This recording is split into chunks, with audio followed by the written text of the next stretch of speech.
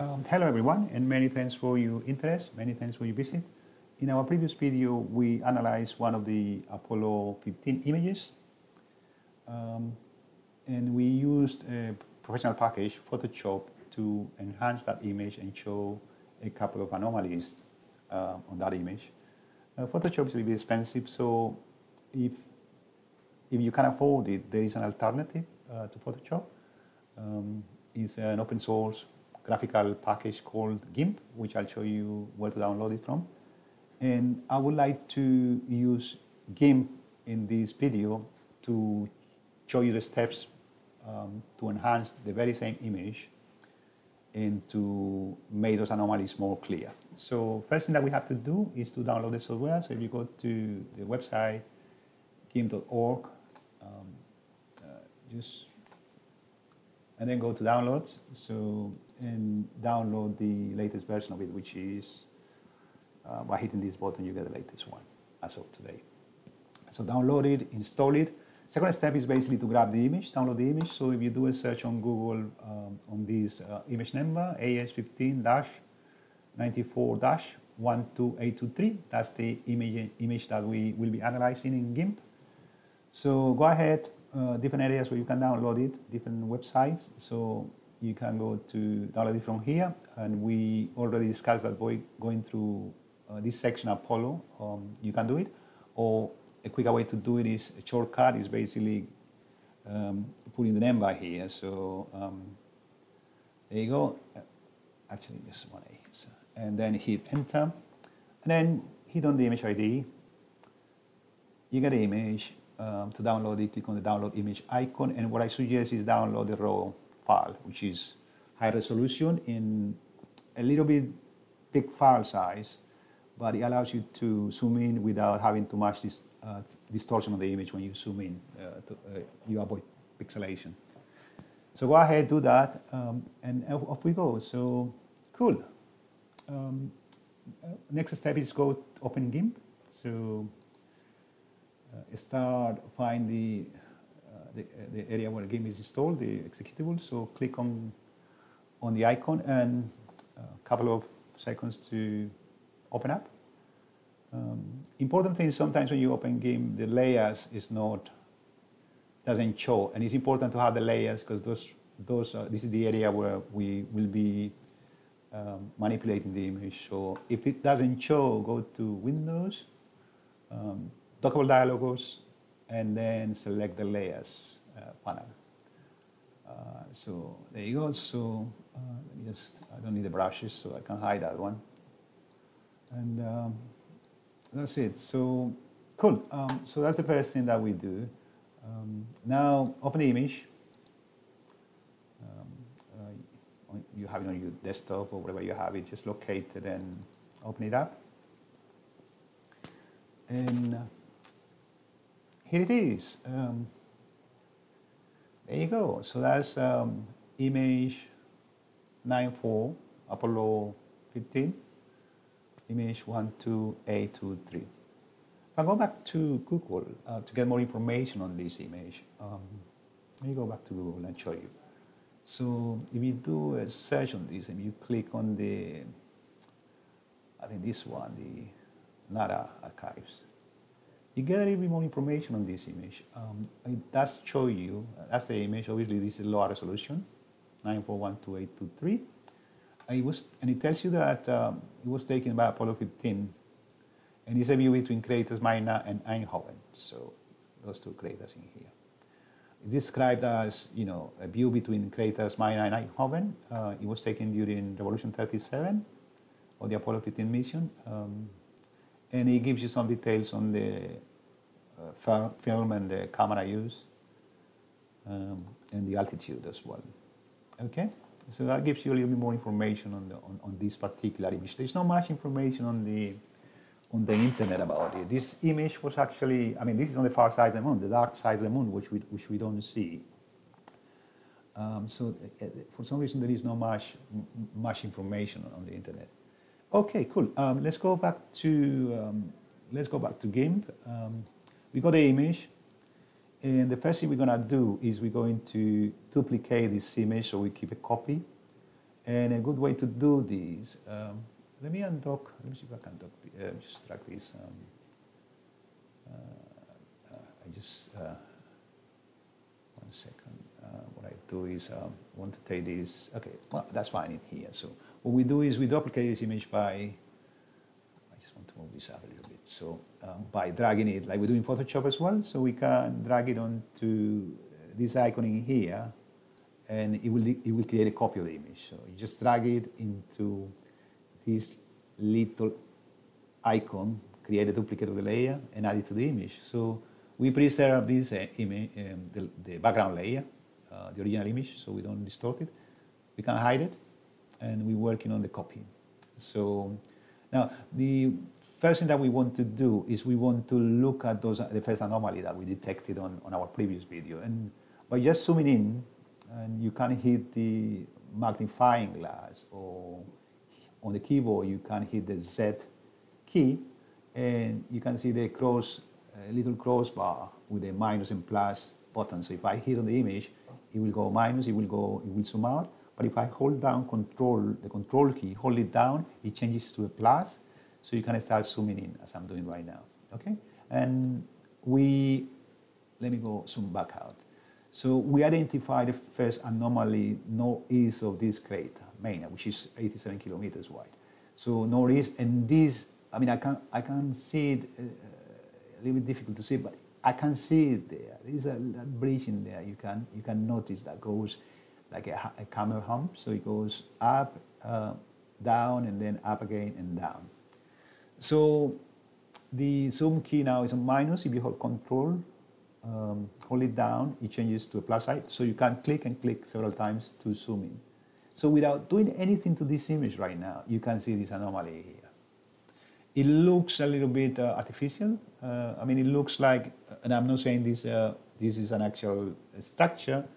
This is the way I take it right now, but I'm not, uh, I'm not, um, you know, saying it is. I mean, you can judge by yourself. Um, what I'm saying is that without doing anything to this image, when you zoom in, you still, straight away you notice something strange in this area. I mean, you've been to London, to Wembley Stadium, there is an arch structure like this. Obviously, this one is miles, miles high above the, the lunar surface. Um, and without doing anything to the image, you can, you can distinguish this feature. Um, what we can do right now is that uh, we, we try to enhance this a little bit so that we can enhance the contrast and the, the exposure of the image to bring this up a little bit more. But straight away you can see that there is a there is an anomaly here because this goes up, down, is goes in and continues, and then it tries to come up and then down. And it does the same in here, it goes this way. Now, this could be, you know, when this image was taken and um, the lunar orbit that was revolving around the moon on, on Revolution 37, uh, one of the astronauts, you know, went through the window, was absolutely surprised and decided to take pictures and use the Hasselblad to take one shot. And it might, might be the case down the window, there was a bit of dirt or a little plastic, which I doubt because obviously inside the, the module it should be some, uh, the air should be clean really. But it could, it could be the case. It could be just, just a piece of dirt, a piece of plastic or whatever, which got on the way. And then when the astronaut took the picture, you know, it just, it just got there. So it would be interesting to find another image um, uh, with a different angle or, uh, of the same crater of the same region to validate whether on that image this structure is in there. Then we rule out that it is, is there. Because if it is in there as well, then that means that, you know, uh, on a different picture of the same crater, same region, then that means that something is uh, for sure 100% there. Um, so that's a way to, to validate that. So yeah, so what we'll do now, we're going to um, just use the, the level um, to adjust the contrast and, um, and the, the, exposure and the darkness of the, the, image and to see whether we can clarify this a little bit more. So in GIMP, um, you go to um, hit on the colors um, and then click on levels. And this brings up this little window where you can drag and drop like in Photoshop. So to uh, do get a variation of the of the colors and the contrast of the image. There you go. So straight away you see the changes. You preview the changes straight away. So if I make it darker, just by doing this, straight away, no manipulation. We just, there is no filtering here. We just actually enhancing the image by highlighting the dark areas. And, and, and that gives like that 3D effect. So it exposes whatever it is in the image, it brings it to the surface and you can, you can appreciate now. But by just, by just uh, dragging these, these uh, pointers in here, you can straight away see more detail on the image straight away. Uh, no, no, you know, any uh, changing colors or anything. You just, you just, you just changing the contrast of the image, and this comes to light. So, if I do OK on that, on that, um, on that layer, and zoom back in, uh, remember, hit the Z key to activate the magnifier, hold Control, so the, uh, you get a plus next to the crossbar, and then hit twice or three times. There you go. So you can you can see that. I mean, the arch, this structure. Um, is it metallic? Uh, because it's got areas where the you can see the reflection. I don't know whether it's a reflection or maybe it could be some kind of beams or light to alert the traffic, the air traffic on the moon um, or whatever, like we do here on Earth. Or it could be like the, the, the, the, the material that is used for this structure is more um, fluorescent or more kind of reflective on these areas. But you can see like, like a bridge, like a bridge structure, it has uh, areas where it goes through. So because it could be beams you know, separated with some gaps. And then you can see uh, the background coming through on these dark areas, as you can see. Uh, if I zoom out a little bit. Uh, again, on GIMP, you control, uh, you release the control key and then hit again to zoom out. And this is what I was talking about. I mean, if you hold, in GIMP, if you hold the space bar, you can move the image to the right, to the left. And the reason I'm doing this is because I want to highlight the fact that if you if you see how this structure goes up all the way up and then goes down, and then it seems to go in, and obviously is obscured by this area, but still you can see the kind of detail or shadow or whatever, or the same structure going in. Is this like a sort of highway or something, or some kind of uh, rig or artifact to transport, you know, minerals or whatever that's being extracted on those craters? That could be the case, because remember, those craters are full of TI, TI2, TiO2, titanium dioxide, which in effect is reaching um, helium-3, and, and, we already discussed in previous videos the, the, the use of helium-3 for fission and for propulsion, you know, um, you know, in space.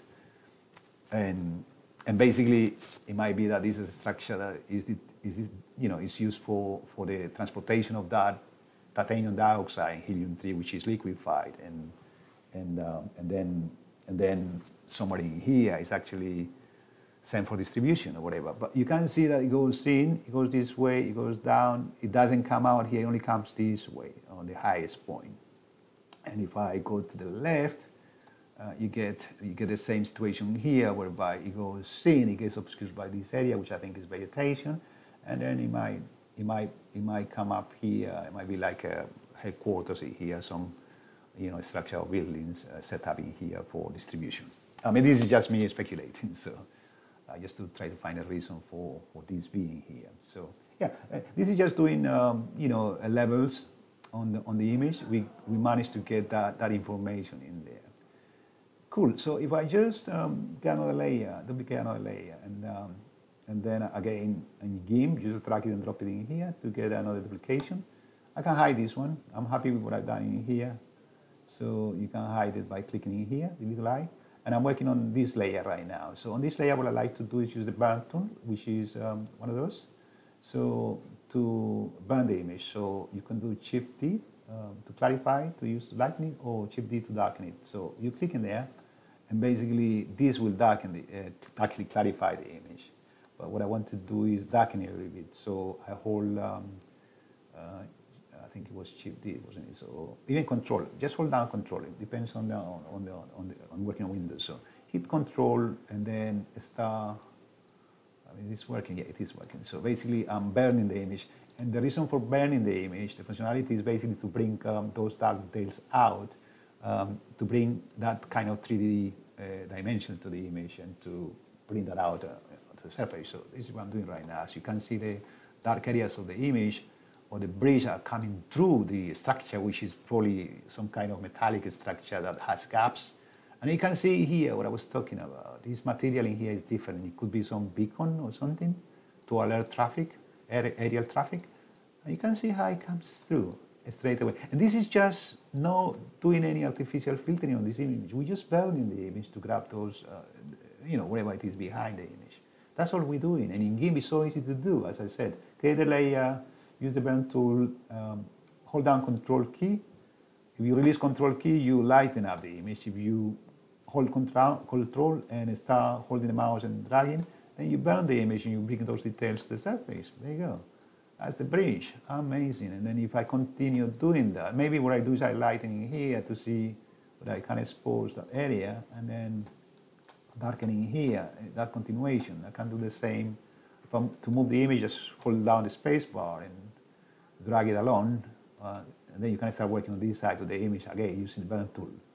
So we use the levels uh, already, and now we're using, if I bring the levels up, the levels.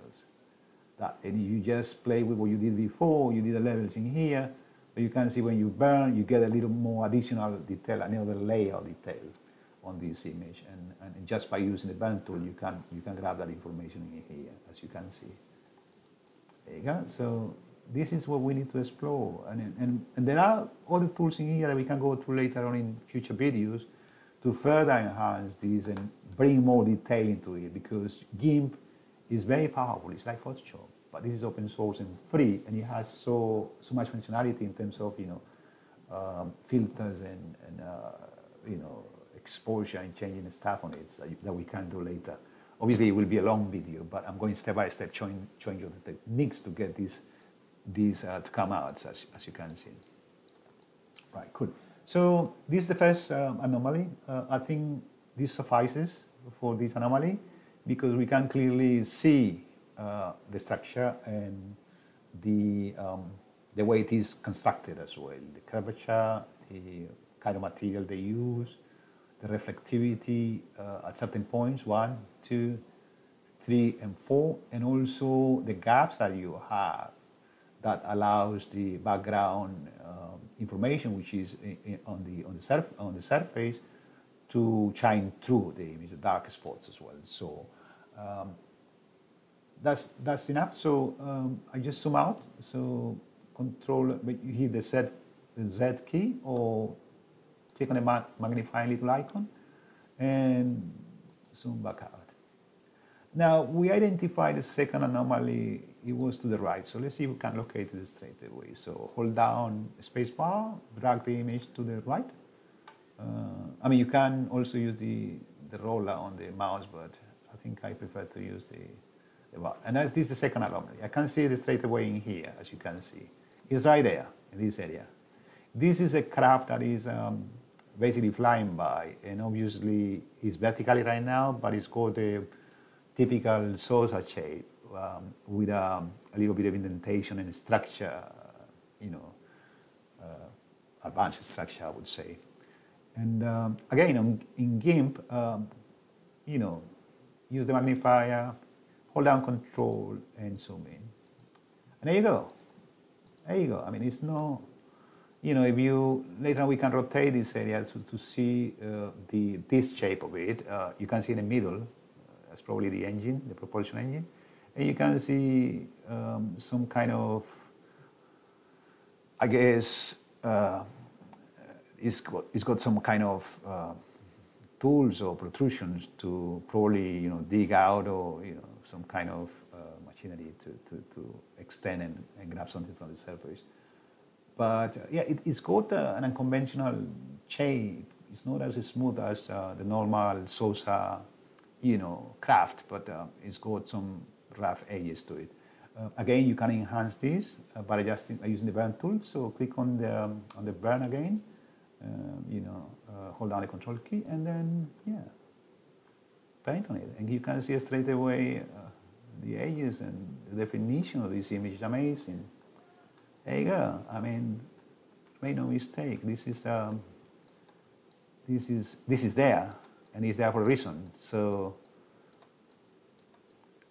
make no mistake. This is uh, this is uh, this is uh, something which is uh, on this on the on the space in a space in, close to the moon, really really close to the moon, and um, you can see it. So yeah, if you throw some other, you know, change exposure, some more contrast, you'll see more. You see this more in detail, like with any Photoshop. So we can we can throw a filter to this, and um, you know by using the again the colors, and we can do like uh, adjust exposure on it on this section, and then you know in GIMP, okay, it's not same. It's similar to Photoshop. It's a little bit more clunky here, but all you have to do is uh, start playing with a with an embossing here for the black level, so you can define the image, and then you can adjust the exposure only for this area. You can see I'm, I'm, I'm playing with it. So this is what you can do, and you can make your own research and you discover it yourself. Uh, you can get a cut of this, and you can or you can rotate this bit. So I mean, you could get a layer, um, you know, to rotate a little bit, and um, you know, arbitrary rotation, and then you can, I guess, you can move it like this, and that gives you an indication of I mean, this is, will be the normal kind of uh, direction of the flight for these uh, unconventional UFO with which got rough edges. I think, guys, this suffices for today. We explore GIMP. Uh, we can see how powerful it is. I can tell you, you don't have to spend money on Photoshop, uh, which is about 20 pounds or 25 dollars per month on a, on a cloud subscription. Uh, this software will do exactly the same, similar, and I show you how to achieve more on this software and it's completely free. Again, um, all you need to do is, um, if I remind you, so go to um, go to gimp.org, yeah, downloads, and then basically hit the button and install it, and off you go. So um, no excuses. You can do your own research.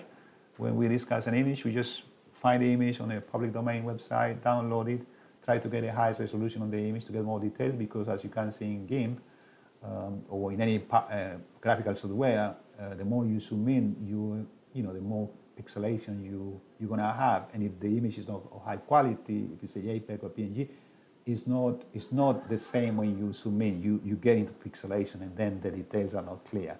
Whereas with a TIFF file, like the one you just downloaded, bigger file size, when you zoom in, you preserve that, that the pixels you know, get, get, get more quality on it, as you just saw on GIMP, GIMP. So um, I think that's that's um, I think that's enough for today. Um, uh, there, there was another. Let me just zoom back out. So magnifying glass, zoom back out. There was a third anomaly which I won't discuss on this video, and it was to do with low vegetation, which I encounter on all these craters. I mean, this section of the crater, the crater walls, um, there is a combination of gravel and rocks, uh, material that got uh, ejected when, when the impact happened. But also uh, on this area, this, remember this is the far side of the moon, that which you don't see. And um, on this area, uh, the temperature is different. Uh, preserved. It's, this is called cold area with cold spots.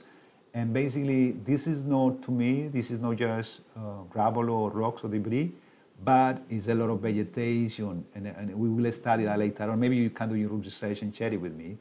Uh, there's a lot of vegetation in here in these craters, in these areas where there is, uh, the sun is not impacted directly. Uh, uh um, similarly, on, on, the other craters uh, adjacent to it, the minor one. I mean, even even with the with the um, with the changes that we made, uh, you can straight away see it. I mean, look at that guys, look at that, and start zooming into and, and, and, apply some filters, and we can go to that later on in future videos to see that it's more more to see and more that meets the eye, you know, in these areas, you know, these regions. This is the far side of the moon, and, and, and obviously we don't have much information on this, you know.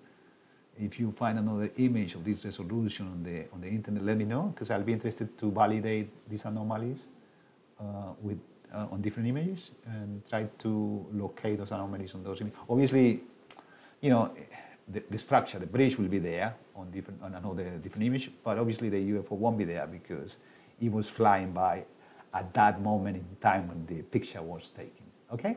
Thanks for watching. Bye.